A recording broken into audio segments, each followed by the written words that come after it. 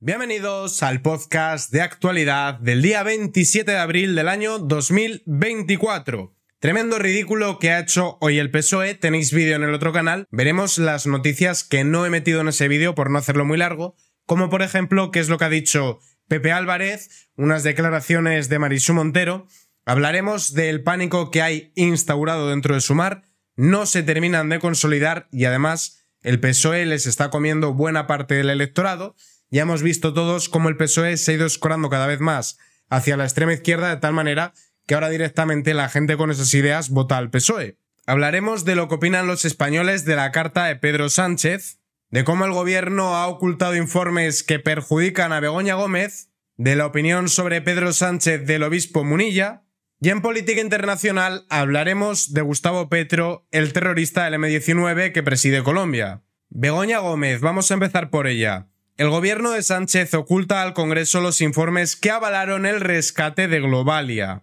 Recordad que Begoña Gómez se reunió en tres ocasiones con Hidalgo y de Aldama mientras estaba negociando el rescate a Europa y que al mismo tiempo el grupo Globalia patrocinaba a Wakalua, una empresa con la cual financiaban los proyectos de Begoña dentro del Africa Center. Cuatro años de silencio y cuatro años de opacidad del gobierno de Sánchez. El Ejecutivo Socialista se ha vuelto a negar a compartir informes que avalaron el rescate de Globalia y de Europa por parte de la SEPI con más de 470 millones de euros, euros de los españoles. A ver, también tened en cuenta que lo que cuesta atender a los enfermos de ELA, que se lo han denegado, es exactamente 38 millones de euros. Con este dinero, imaginad para cuántos años estaría garantizada la atención a los enfermos de ELA. Una vez más, y ya van cuatro, el Grupo Parlamentario Popular solicitó vía Congreso de los Diputados los documentos y actas de reuniones eh, relacionadas, iba a decir realizadas, con el rescate de Air Europa. Por cuarto año consecutivo, el gobierno ha rechazado esta documentación.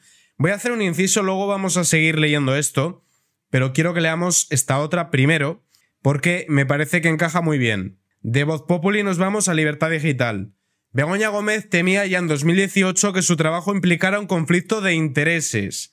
El país publicó que tenía intenciones de abandonar su actividad para evitar que la sospecha recayera sobre ella o Sánchez. Yo creo que todos nos hemos dado cuenta ya de que Begoña Gómez no actuaba de forma independiente. Yo creo que es bastante evidente que es parte de, de los peones que emplea en su tablero de ajedrez Sánchez. Begoña Gómez tenía una actividad totalmente contraria a la de Sánchez o en secreto de su marido. Sánchez era una pobre víctima que no se enteraba de qué hacía su mujer, que no sabía con quién se reunía, pero si Sánchez le consiguió la cita a Begoña en gana. Si es que Sánchez fue el que le apalabró la reunión a Begoña.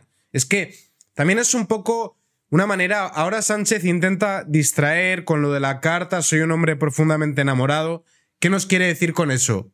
¿Que hacía la vista gorda por amor de lo que hacía Begoña? ¿Cuál es el relato que nos quieren vender? Hombre, a mí se me hace muy difícil pensar que no se enterara. A Ayuso le dicen, mira, que es que tu novio esto, tu hermano lo otro. Con el mismo argumento, Sánchez no estaba al corriente de lo que hacía Begoña. Que es imposible, que es que esto es una tomadura de pelo. Continuamos. Begoña conocía perfectamente a que se exponía cuando Sánchez fue elegido presidente del gobierno. La noticia llevaba por título un perfil público y solidario para Begoña y subtitulaba La esposa de Sánchez está pensando en abandonar su trabajo para evitar posibles conflictos de intereses.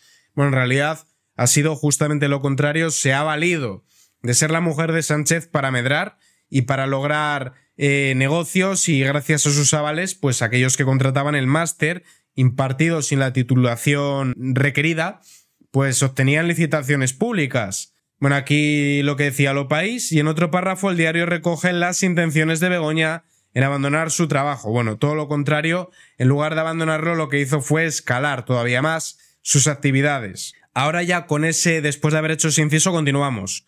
En respuesta, el Ejecutivo señala que para la concesión de cada ayuda se llevaron a cabo estudios y análisis de la solicitud por parte de asesores expertos independientes. Y aquí la pregunta que todos nos hacemos es si ese asesor experto independiente era Begoña Gómez, porque era con quien se estaba reuniendo Hidalgo el Hidalgo hijo, el hijo del dueño de Europa. Los informes establecieron de forma clara y objetiva el cumplimiento de los criterios y requisitos, ya, pero lo que hemos visto con el tema de las licitaciones es que donde las empresas avaladas por Begoña ganaban era en la parte subjetiva, que eso era criterio de quien daba el, dinero público, con lo cual podemos pensar que aquí la SEPI obró de forma similar. La necesidad del apoyo público temporal, así como su visibilidad, extremando las garantías en el uso adecuado de los recursos públicos. Estas afirmaciones del gobierno no pueden ser contrastadas por la oposición ni por el resto de ciudadanos al ocultarse a la opinión pública el contenido de los informes que avalaron que se destinarán 475 millones de euros. Aquí yo lo que me inclino a pensar es que esa asesoría independiente era de Begoña o de alguien del entorno del presidente, aparte de Begoña, que obviamente más del entorno del presidente que la mujer no hay nadie. A ver, ¿por qué lo ocultan? Para empezar, todo lo que sea dinero público debería de pasar por transparencia para que lo podamos fiscalizar, porque somos quienes pagan la fiesta. Es decir, yo tendré que saber qué están haciendo con mi dinero. Yo he tenido que pagar. Yo todo lo hago cuota autónomo para trabajar, que es un permiso que pago para trabajar. Igual que el resto de españoles, que pagamos hasta por respirar. Tengo que pagar las trimestrales, el IRPF. A ver, yo creo que con la burrada de impuestos que pagamos en este país, más el IVA, etcétera, tendremos derecho a saber, tendremos derecho a conocer a dónde va a parar nuestro dinero. Por ello, todo ha de ser publicado en los portales de transparencia. Si no lo han publicado es porque están escondiendo algo. Es que, si no, a ti te lo requieren cuatro veces, la oposición, PP, Vox, te lo pide, o, no hace falta que sea un partido político. Si a ti te piden esa información, tú la tienes que presentar. De hecho, es que sin que te la pidan debería estar publicada en el BOE, en el portal de transparencia, donde sea. Eso hay que publicarlo porque es el dinero del contribuyente. La, negativa de Hacienda se basa en un comodín que contiene el Real Decreto, de medidas urgentes para apoyar la reactivación económica, que es una manera, Real Decreto para empezar, no pasó por el Congreso de los Diputados, porque eso es algo que no se debería de utilizar, porque el Ejecutivo no está para aprobar leyes, está para gestionar los poderes públicos, las leyes deben aprobarse en Congreso y, Senado, pero bueno, existe el comodín del Real Decreto, que lo emplean para, por decretazo, sacar adelante las cosas cuando no tienen apoyo parlamentario, y bueno, eh, es una especie de embudo lo de las medidas urgentes para pasar todo por allí. Pero claro, es que ya pasó el confinamiento, esa etapa de la, de la historia de España, que fue inconstitucional, pero esa etapa ya la hemos superado, con lo cual ya no estamos en ese momento, tienen que presentar esa información. Continúa la siguiente forma, el artículo 17 establece que los datos, documentos e informaciones, en virtud de funciones que le encomienda este Real Decreto, tendrán carácter reservado, con las excepciones previstas en la normativa. Es decir, que aprovecharon que estábamos todos encerrados y, bombardeados con desinformación y con todo tipo de, bueno, con las tonterías que salía diciendo eh, Fernando Simón de que tenía una nuez o, o que le hacía mucha gracia, que, bueno, todas las, ya os acordáis de esa etapa, tampoco hace falta incidir demasiado, pero como estábamos entretenidos, aprovecharon para hacer lo que les daba la gana. La opacidad no ayuda a despejar las incógnitas que se fraguaron con el caso PSOE y que apunta de manera directa a la mujer de Sánchez, Begoña Gómez, y es si la buena relación que mantenía con Javier Hidalgo influyó en el rescate millonario de la compañía. A ver, habrá que probarlo, ¿no? Pero es obvio y evidente. Hay un hecho innegable y es que existía un acuerdo de colaboración entre Globalia y el Africa Center de Begoña Gómez. El mismo año en el que el gobierno aprobó el primer rescate, la aerolínea firmó un contrato por 40.000 euros con Begoña. Así que bueno. El patrocinio de Guacualua eh, de actos de Begoña parece motivo suficiente para que Sánchez se hubiera inhibido para que no hubiesen rescatado, pero aquí como hacen lo que les da la gana y bueno, inciden en proyectos empresariales con el Ministerio de Sanidad y son otros contratos distintos. Este sería 170.000 euros, pero es un contrato aparte. También os recuerdo que tanto, ya lo diré, Plus Ultra, la aerolínea venezolana, que tenía aviones alquilados, también fue rescatada, ¿no? Y fue rescatada a pesar de que tenía pérdidas de antes de esto. Tanto Plus Ultra como Air Europa se emplearon para traer material sanitario, que es que no es solo el rescate, es que igual les dieron contrato, esto habrá que demostrarlo también, esto ya es aparte, pero es que no solo es el rescate a ambas aerolíneas, es también que el gobierno las contrataba para que trajese material sanitario y probablemente hubiese empresas distintas que licitaban a mejor precio u ofertando mejor servicio que ahora, con la sombra de la duda sobre todo lo que ha pasado, deberíamos de empezar a investigar todo ello. Yo no, que lo tenga que investigar. Se entiende que, que tendrá, habrá entes que se encargan de hacerlo, juzgados, tal vez el Tribunal Europeo, en caso de que haya sido con fondos europeos. Toca hablar ahora de, de Pepe Álvarez y de Marisú. De Marisú hablaremos luego otra vez con la manifestación. Pepe Álvarez, secretario general de UGT, lo que se hace con Begoña es machista. Es decir, que la justicia solo puede investigar a los hombres o a las mujeres que no sean del PSOE. ¿Se entiende, no? Porque evidentemente a Rocío Monasterio le pueden decir barbaridades, a Rocío de Mer le pueden tirar una piedra, a Villacís le pueden hacer un escrache, a Begoña Cifuentes le pueden gritar en el oído. Solo a las mujeres de izquierdas hay que proteger. José Álvarez no ve motivos políticos para la dimisión de Sánchez, a quien considera un hombre honesto con su familia honesta. Bueno, claro, si lo que ha hecho es disparar la financiación a los sindicatos de Comegambas. Bueno, no, sindicatos no, vamos a emplear bien las palabras. ¿Qué es un sindicato? Un sindicato es una asociación de trabajadores que se financia a través de la cuota de los afiliados. UGT y comisiones, ¿qué son? UGT y comisiones son lobbies de poder que se nutren de fondos públicos y que cuando gobierna la izquierda recibe más dinero. Que por cierto aprovecho para decir que el PP también les financia. Mal hecho, porque luego le hacen manifestaciones. Pero bueno, no son sindicatos, son lobbies del poder. Apunta a la posibilidad de emplear gente sin papeles que ya está en España. Bueno, esto pues sería dumping laboral, para que veáis hasta qué punto están a favor de los trabajadores, que pretende hacer algo que va en contra de los trabajadores. Y a la pregunta, pues bueno, hace una serie de preguntas. Nos interesa lo de Begoña, que es lo que nos trae hoy aquí, porque el otro son sandeces y mantras y, y lameculismo hacia el PSOE. Y lo del PSOE pues sería básicamente que considera que Begoña está sufriendo una cacería machista. Pero no es una cacería machista porque no es por el hecho de ser mujer. Es llevarla ante los tribunales porque se ha valido de ser la pareja de Sánchez, que es el presidente del gobierno, o el señor que hay en la Moncloa, como prefiero decir yo, ya que ha revalidado su cargo de forma eh, ilegal y además ilegítima, y parece ser que se estaba valiendo de su puesto de relevancia como la pareja de, de Sánchez para obtener negocios, para avalar amigos, con lo cual habrá que investigarlo. No es la justicia solo para el de abajo, la justicia es para todos. irónicamente, bueno, no tan irónicamente porque aquí es el equipo de opinión sincronizado, Marisú Montero también llama machistas a los que critican que se investiga a Begoña por tráfico de influencias. Ya lo que faltaba que no se puede investigar a Begoña por ser la pareja de. El Comité Federal de Sanchinflas este sábado se ha convertido en un acto de exaltación a Sanchinflas después de que ese señor que hay en la Moncloa anunciase el miércoles un periodo de reflexión. La primera en tomar el turno de palabra ha sido Chiqui Montero, que ha iniciado su intervención al grito de Pedro, quédate. No, Pedro, vete aquí, vete a tomar por culo. Bueno, sí, quédate, pero quédate para sentarte en un banquillo. Y habla de que intentan destruir a Begoña. No, destruirla no, lo que habrá es que esclarecer que si es legal lo que ha hecho. En su intervención en el Comité Federal del PSOE, Montero ha enviado un mensaje a Sánchez, Pedro, quédate, estamos contigo, tenemos que avanzar y seguir empujando este país. Sí, empujándolo, empujándolo al precipicio. No me extraña que pida a Sánchez que se quede.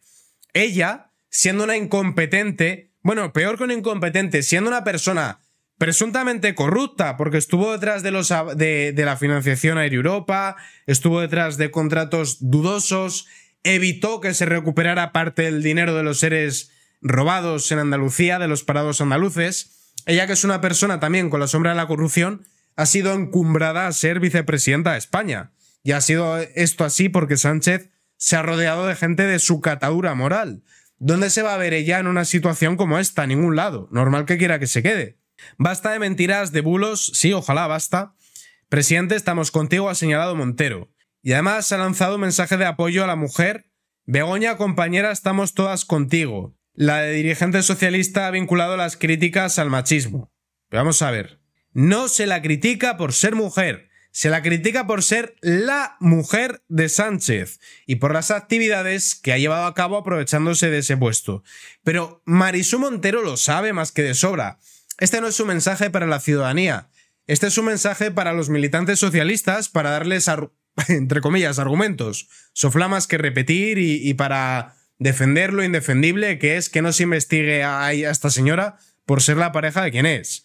Si fuese la mujer de cualquier otro, hace tiempo que estaría en un banquillo. Un PSOE de tintes peronistas acaba con ministros y militantes llorando en la calle. Lo sucedido en Ferraz este sábado no tiene precedentes. Si cabe en algunas latitudes eh, hispanoamericanas, un comité federal, el máximo órgano entre congresos del partido, convertido en un acto de reivindicación y exaltación del matrimonio presidencial. Bueno, de hecho recuerdan a los Ceausescu. El final fue abrupto, catarsis colectiva de lágrimas, gritos y ovaciones. No se pronunció la palabra laufar, cualquier información sobre Begoña es un bulo, cualquier investigación a sus reuniones con empresarios es un ataque, a la democracia, bueno, ya esto es el colmo, porque además quien está socavando la democracia, que se sustenta en la separación de poderes, es justamente el PSOE. De hecho, esto es peronismo puro y duro.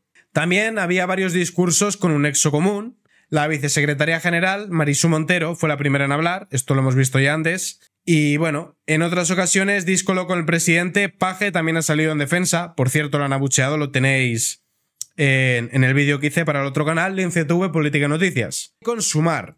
La ola de solidaridad, bueno, no son solidarios, son solidatarios. Una palabra que no existe para definir el lameculismo disfrazado de otra cosa. Pero bueno, la ola de solidaridad con Sanchinflas achica el espacio para Díaz. Que el PSOE es un partido indistinguible de Sumar y de Podemos hace tiempo que se sabe. Las líneas rojas que supuestamente tenía el PSOE hace tiempo que se cruzaron. La cúpula de Sumar estuvo el jueves y el viernes debatiendo sobre la postura sobre el SOC de Sánchez. Nadie en Sumar había sido avisado. La gran mayoría de cuadros y miembros apuestan por la tesis de que Sánchez se quedará y enmarcan todo lo ocurrido en cerrar filas y ganar apoyos en las elecciones catalanas. Los dirigentes de Sumar saben que si Sánchez decide quedarse, la campaña electoral de las catalanas y las europeas se centrarán en fagocitar todo el voto de izquierda, Sánchez se comería el espacio de su de Podemos de golpe. Temor a elecciones anticipadas, ojalá las haya. De todas formas, eso, eso respondería a que el PSOE quiere estar en la oposición.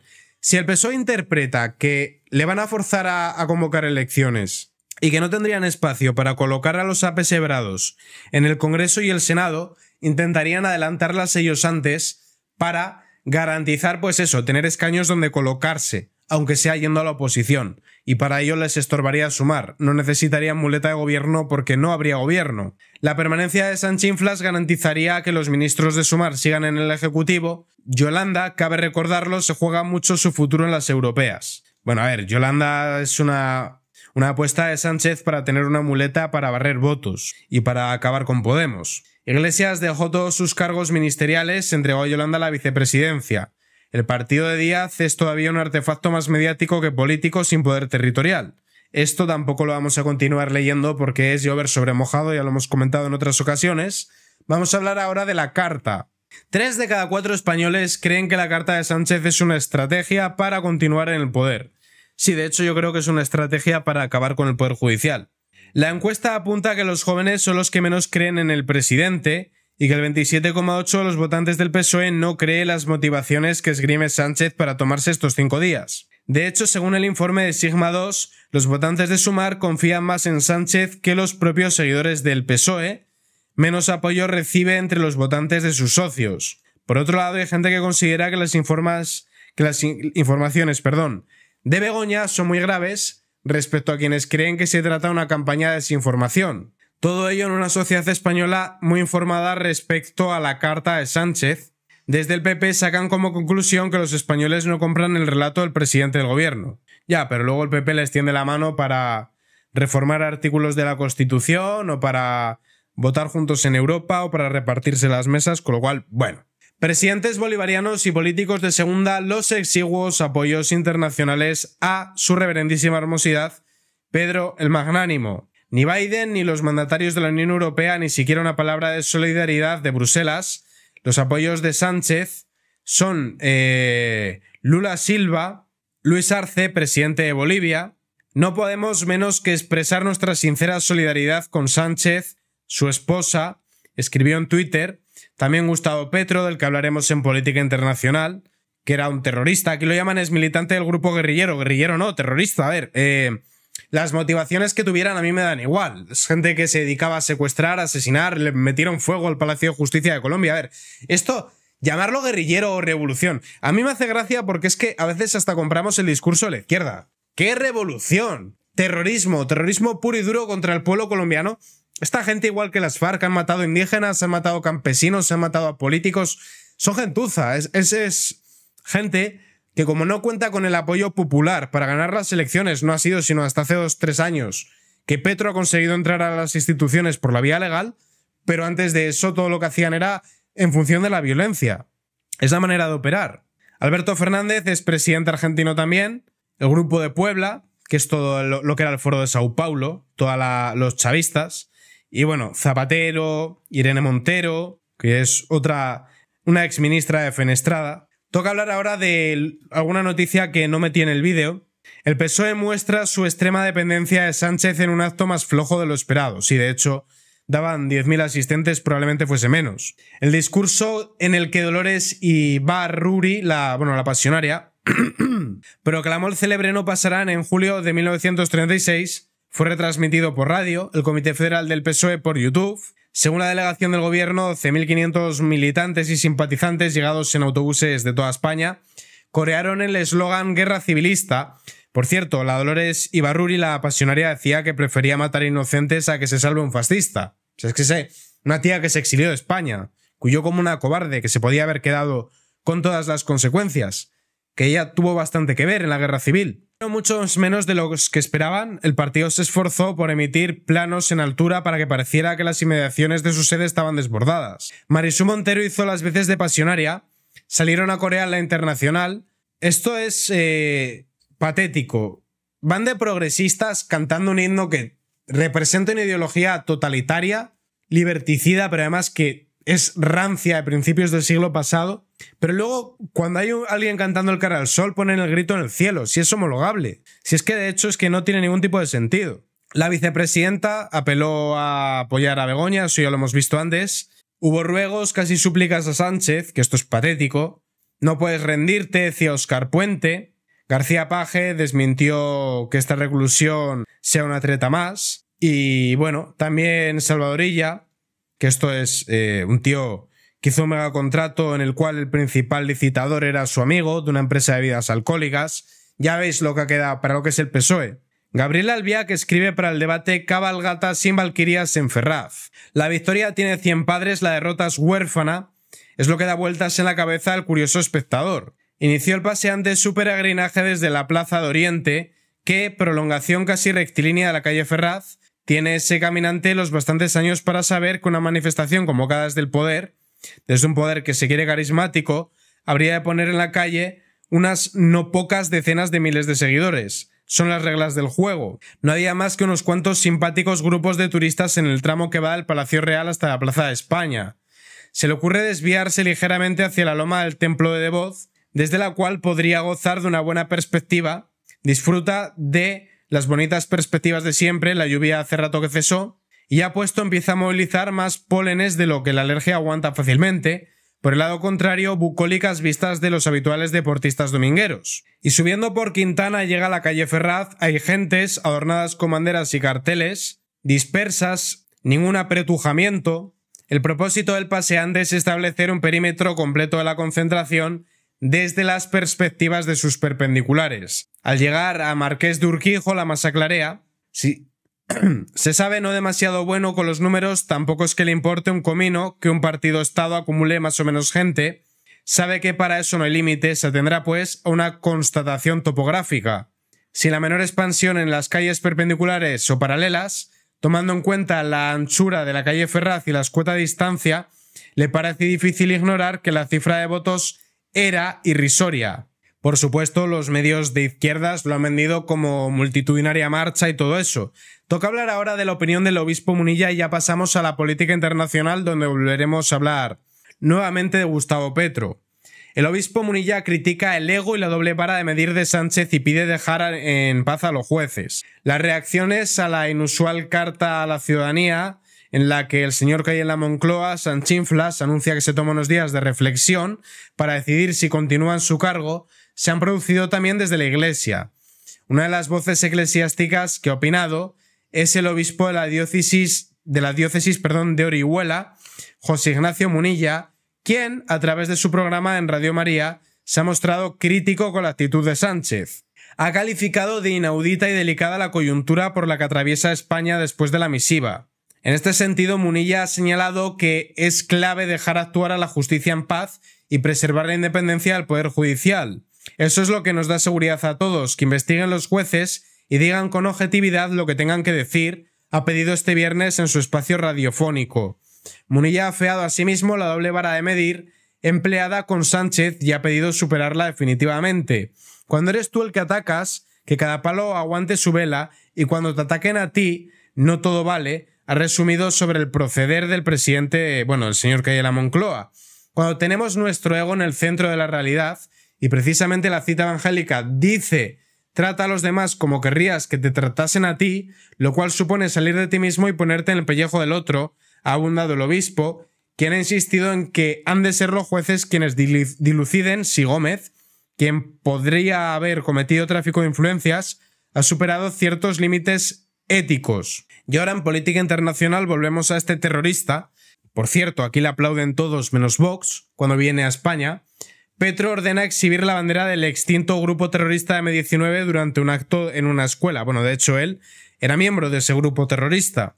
Gustavo Petro ordenó el viernes exhibir la bandera del desarticulado grupo terrorista de extrema izquierda M19 durante un acto en una escuela. Con un a ver compañero traiga esa bandera porque estamos hoy de fiesta, el mandatario instó a un par de hombres presentes en el acto a desplegar los símbolos de la agrupación, famosa por haber protagonizado secuestros, por irrumpir en la Embajada de República Dominicana, la toma del Palacio de Justicia, etc.